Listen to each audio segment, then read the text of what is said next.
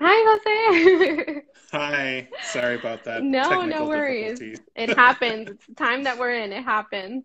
Um, but yeah. I was just I was just telling the folks who are joining us right now that um, we had a Know Your Rights training in Spanish uh, about two weeks ago. So if they're looking to find any of that information, they can go on to our Instagram or Facebook page. You can find uh, that Know Your Rights in Spanish, which will be a similar conversation to today. We also had a conversation in regards to mental health, um, TPS updates. I know we had a question in the comments. We also have something in regards to DACA updates. So I continue to encourage you all to go onto our social media platforms um, if you're looking for anything like that. Um, so um, today's conversation, as I mentioned, will be around Know Your Rights. Um, I do want to remind folks that we're not lawyers. We're simply providing information that is extremely important for the immigrant community. Um, if you have any questions, um, I recommend that you save them to the very end. We'll have a few minutes um, we won't take any personal questions, unfortunately, but we will try our best to answer any questions that you might have. Um, but I'm excited that Jose is joining us today. Um, so, Jose.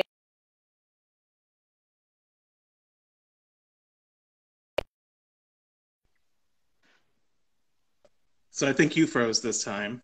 oh no. What was that question? Can you tell us a little bit about yourself and the work that you do with IDP? Sure. So I work for the Immigrant Defense Project, uh, mm-hmm. where I'm a senior uh, policy associate. Uh, I'm originally from Mexico, but when I was about four or five, my family moved to South Texas, uh, down in the Rio Grande Valley, uh, deep South Texas.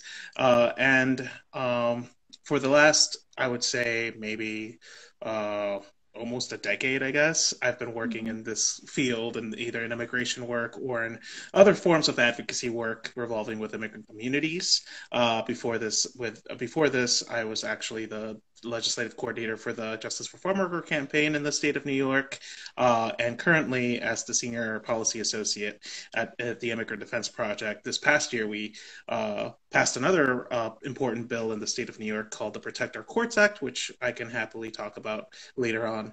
Uh, but uh, yeah, that's a little bit of what I do. I, I, I uh, not only inform community members about what their rights are, but also talk about advocacy and trying to get things passed in the state legislature.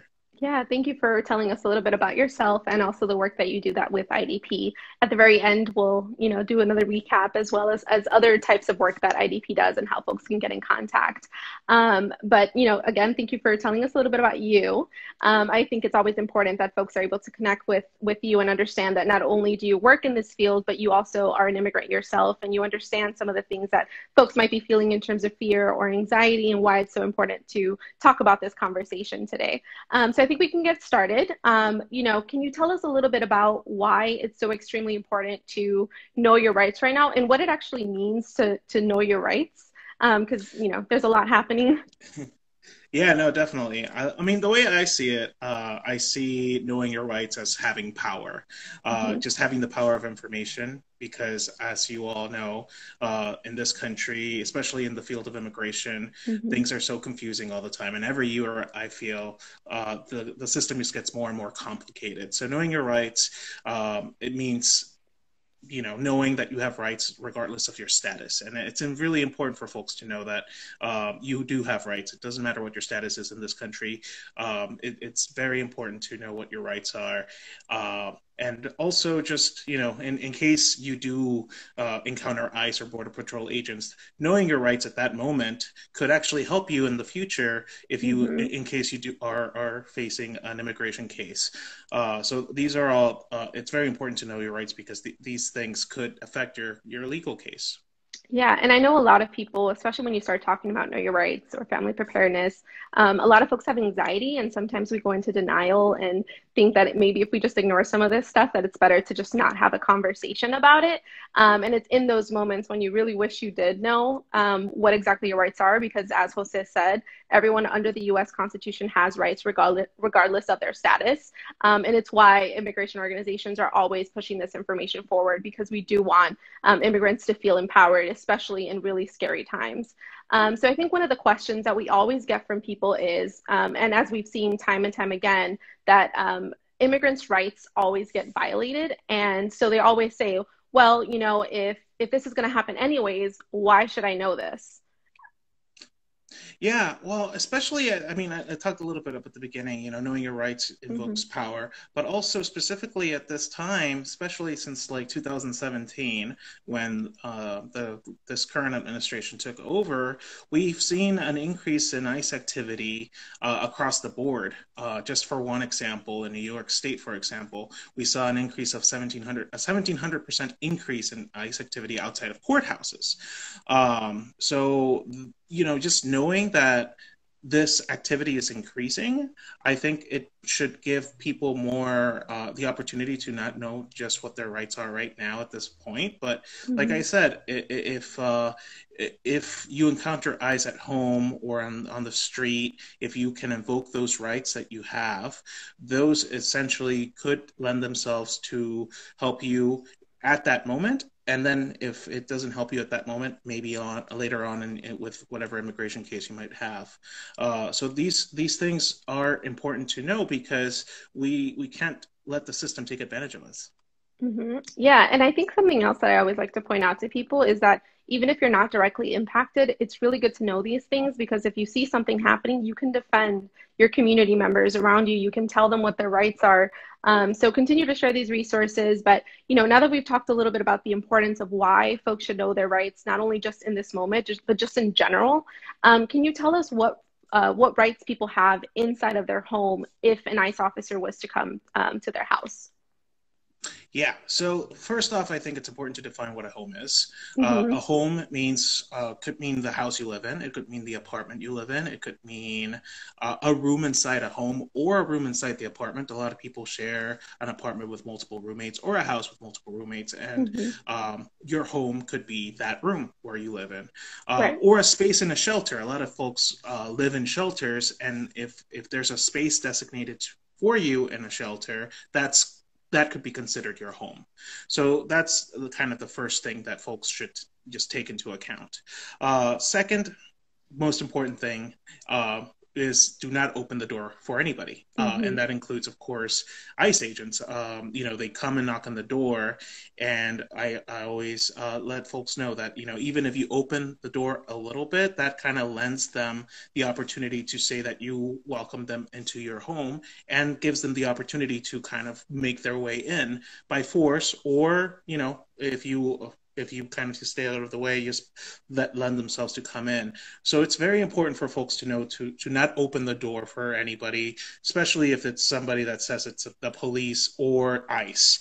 Uh, ICE does say a lot of the times use these ruses where they say that uh, they are police officers. Sometimes they mm-hmm. even use vests that say police, um, and that happens a lot in New York City where I live. Uh, so if that's the case, then ask them for identification ask them okay can i see your identification? Can you put it down the the slit of the of the door? Uh, sometimes they say they have a warrant um, and uh, that's that gives them the opportunity to come in. However most of the time and if in fact most of all the times they have administrative warrants that they don't have judicial warrants. Uh, judicial warrant is a, a warrant signed by a judge uh, administrative warrant is just something that they have signed by a supervisor, probably at their office. That's what they most of the time have. That does not mean that they can open and come into your home uh, to do a search or anything like that. So, uh, if they do have something like that, ask them to put that warrant underneath the door, take a photo of it. Um, but again, uh, if it doesn't say signed by a judge, Judge so and so, that means it's not a judicial warrant, and that means that mm-hmm. they don't have a right to come into your apartment. So I would say leave the door closed. Do not let them come in. Um, if they, if you do let them come in, because most people are, are good people and, and we'll let them, uh, will let folks come in, um, then you know you still have the right to change your mind and say I don't want you to be in my space. Please leave. You have the right to remain silent. You have the right to say I'm not going to speak to anybody without an attorney present. Um, even if they start searching your place, you have the right to say, I do not consent. I do not give you the right to search my apartment or my home. I do not give you the right to take my fingerprints. Sometimes they do it by force. If you mm-hmm. invoke these rights, again, these are things that you can later on say. If you take notes afterwards, these I invoked my rights during that time. They did this without my permission. Yeah. Um, and I think a good follow up to that is, um, you know, you mentioned um, that you like whatever happens during those moments, if they don't um, listen to what you're saying, um, you know, can people uh, document what's happening and how can that help them? Yeah, so people can document what's happening. I mean, they can take notes definitely after this encounter. Um, during the encounter, though, if you are going to take your phone out and record, you are allowed to do that, but you should say, you know, I'm taking my phone out to record what's happening right now. Um, we, I think folks need to know that um, ICE officers are armed and it depends on your locality. But here in, in New York City, we have seen ICE officers armed with not just uh, you know like regular guns, but also automatic weapons. Uh, so that's something to keep in mind. Um, but you do if you if you take your phone out, just say I'm going to take my phone out so I can record this. That is a right that you have. Yeah. So just to um, remind folks, especially for those that are just joining us, in terms of your rights, make sure you don't open your door. Um, ask who's at the door. Um, see what kind of paperwork they have with them. If they have a warrant, make sure that it has your name on it. Make sure that it's signed by a judge, and make sure that if by some reason you decide to open the door because, as Jose said, a lot of times out of fear and because they think that it's police officers, you think you have to open, um, you can still tell them to leave. Um, but most importantly, you can document um, anything and everything that's happening during those moments. Just remind folks um, that you're you're pulling your phone out. Um, so I think now that we've established what rights um, folks have inside of their home, I think it's also important to cover what kind of rights people have outside of their home in a public space. Same kind of uh, idea. Uh, if you're walking down the street and an ICE officer and you encounter an ICE officer, um, you have the right to not consent to a personal search. Everybody has this right. You can say, "I don't consent for you to to search my body." Do not give folks any documents, uh, especially false documents. That's something that's very important, mm-hmm. you know, to to to to also know. Um, you cannot, you should not give them any documents especially false documents right. to to these officers. Uh, but yes, uh, the same thing. You know, you you can say, I don't give you uh, permission to search search my body. I don't give you permission permission to take my fingerprints. Uh, even again, if they do this. Uh, um, without your consent, you can invoke these rights. Uh, also, say, you know, am I free to go? As if they say you're free to go, you know, step away from that situation as soon as you can. Yeah. So I know that um, right now we're giving a lot of information to those that are following us. I do want to remind them that they can find um, an overview and more resources similar to what we're having we're talking about right now from other organizations on informed immigrant um, you can find red cards as well. We always encourage folks to carry those with them because in moment of panic sometimes you forget um, all of these top pointers and it's easy to hand over to an ice officer. Um, usually on one side it'll be in spanish and on the other side it'll be in english. Um, so again you can go on to informedimmigrant.com you can go to idp uh, there's just a variety of different places where you can find um, information about know your rights. Um, so um, again, so I think going back to the public conversation, something else that folks always worry about, um, not only being stopped in the streets, but what's also very common is when they get pulled over. What can you say to folks in terms of what their rights are? Yeah, and again, this uh, depends on state by state because uh, uh, you know right. recently in New York, uh, undocumented folks now have the opportunity to get driver's licenses, um, and that's not the same case in every state. But like uh, you know, ICE stopping folks on the street, they can also stop your car. But mm-hmm. again, you have the similar rights. You can invoke them. You can say, "I do not consent for you to search my vehicle." Uh, if they ask you to come out of the of the vehicle, you can um, say, "I don't give you permission to search myself, my body. I." Uh, I wish to remain silent. I uh, I'm not going to speak to you unless I have an attorney present. Um, ask who these people are you know that's I think one of the first things you folks need to uh, ask. You know, who's stopping you? Uh, is it the local sheriff? Is it, is it a, a police department? Um, if it's an ICE officer, then um, they they should identify themselves. But again, they do use a lot of tricks and, and a lot of uh, lies sometimes where they they uh, pretend to be police officers. Uh, so the, if that's the case, ask for identification. If you don't see your city's police department badge, you know that's yeah. probably an indicator that it's not your local police department if they if it's just a generic police vest that they have on, or if they're not they're in an unmarked vehicle, there's a chance that you know that could be an ICE officer. I think folks need to know that you know. Uh, there's a lot of info sharing that happens within departments. Uh, if folks cross the border in this the southern border, for example, if you get caught by border patrol, you your uh, fingerprints are automatically taken and then they're shared. Uh, if you get arrested, your fingerprints go to the FBI and then they're shared across uh, different departments. So ICE probably has your information if they are looking for you because they do share a lot of information with every other department.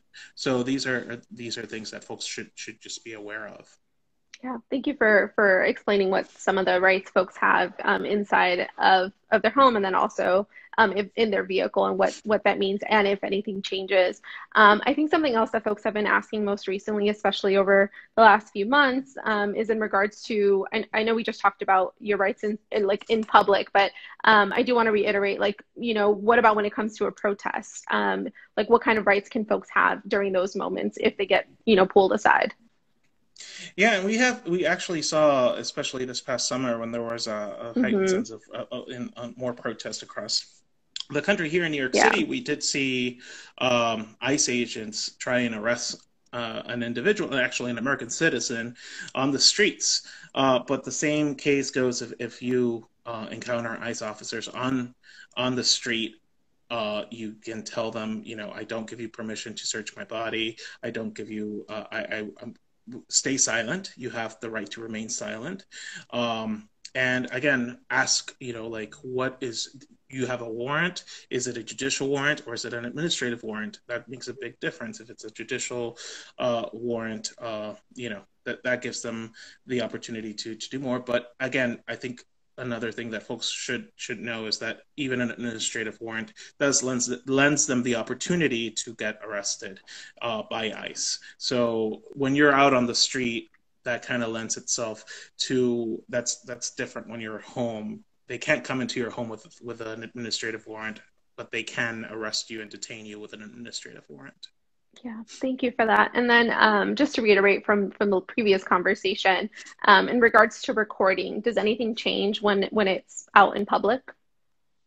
I would say the same thing. Um, you know, if you are going to record, you know, if and there's people around, officers mm-hmm. around, if you're going to take your phone out, um, know that you these people are armed uh, say that you're taking your phone out to record uh, but you are and and and passerbyers can also you know take their phone out i would recommend not going live mm-hmm. uh, because a lot of folks have that instinct i'm going to go live uh, it's important to uh, uh, respect people's identities during right. this time um, I, I, would say it's more more valuable to provide these uh, these this footage to uh, to attorneys that are taking care of this case, or if they're going to use it for the media to blur faces, because uh, protecting identity is also very important. So don't if you are going to record, it's better to share that later and with people that you know might help not go live where anybody can use this footage later on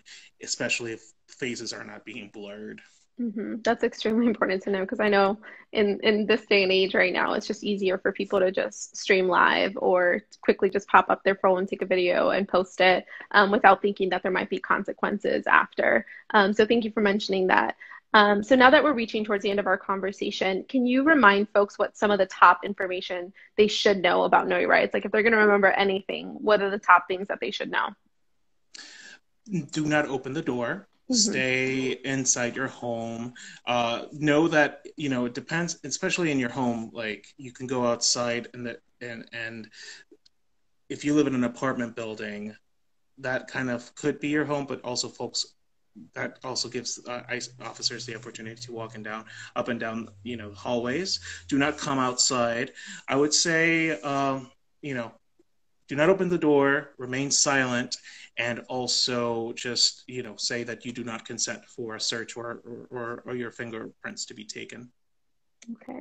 Um, thank you so much for that, Jose. And then lastly, how can people contact um, IDP and, and for what kind of things can they contact you all?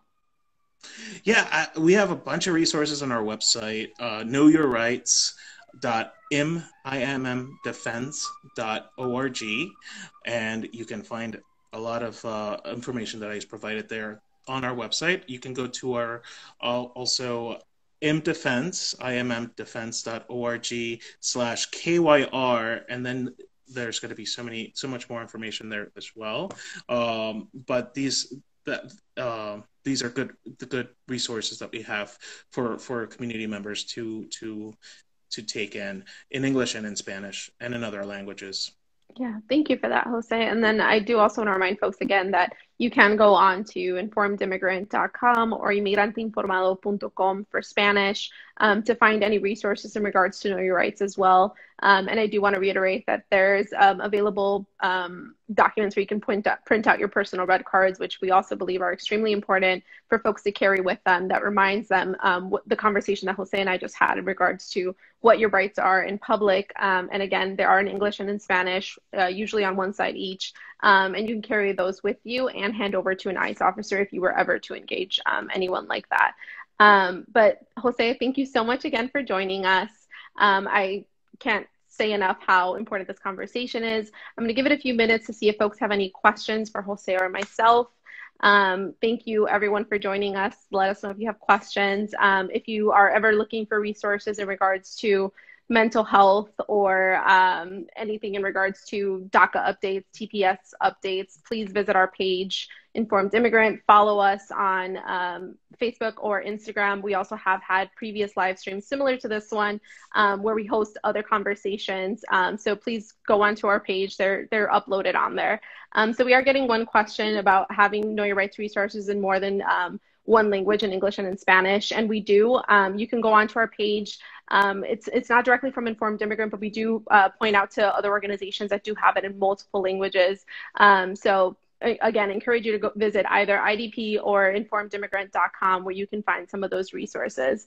Um, and then we also have another question about um, New York and ICE. Um, out of how, sorry, I think they're talking about the uh, POCA, the policy about um, ICE in, in New York City courts. Can you tell us a little bit about that?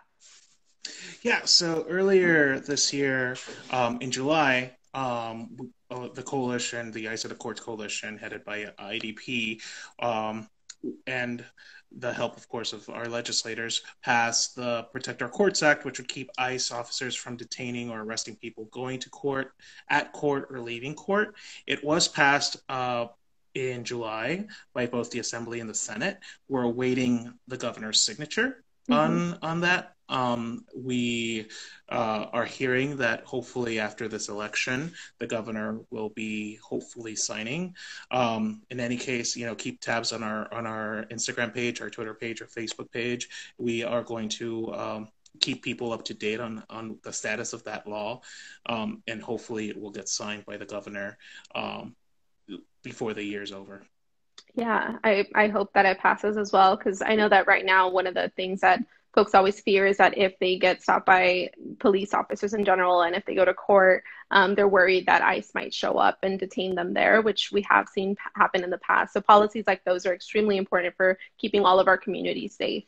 Um, it is um, worth noting that um, I did, a, a, lawsuit by the Attorney General, the New York State Attorney General, did she she did win a case against DHS and ICE at the moment they should not be arresting people going to court or leaving court or at court um, because they there was a lawsuit that was won by the by the uh, New York Attorney General. This the, if New York Governor Andrew Cuomo signs the bill, though, that would make it the law of the land, and it, and uh, even if there's an appeal, which there currently is an appeal by DHS, um, it, it, won't be uh, stricken down if, if Governor Cuomo signs this bill. Hopefully, he will.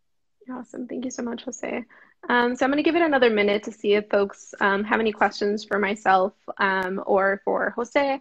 Um, but for those that are joining us, I can't tell you enough to go and follow Immigrant Defense Project. They're based in New York. They do amazing work. Um, and also, um, of course, follow Informed Immigrant. We're constantly updating our page and the resources that we have. you can find, again, anything from Know Your Rights, family preparedness, policy updates, etc. Um, but since we're not getting any additional questions, Jose, I do want to thank you again for for joining us um, uh, to have such an important conversation, telling us a little bit about the work that you do in New York City and with the Immigrant Defense Project. So um, again, thank you so much for joining us. Um, I look forward to working with you again. Yeah, thank you for having awesome. me. Awesome. Thank you. Thanks everyone for joining us. Bye. Bye.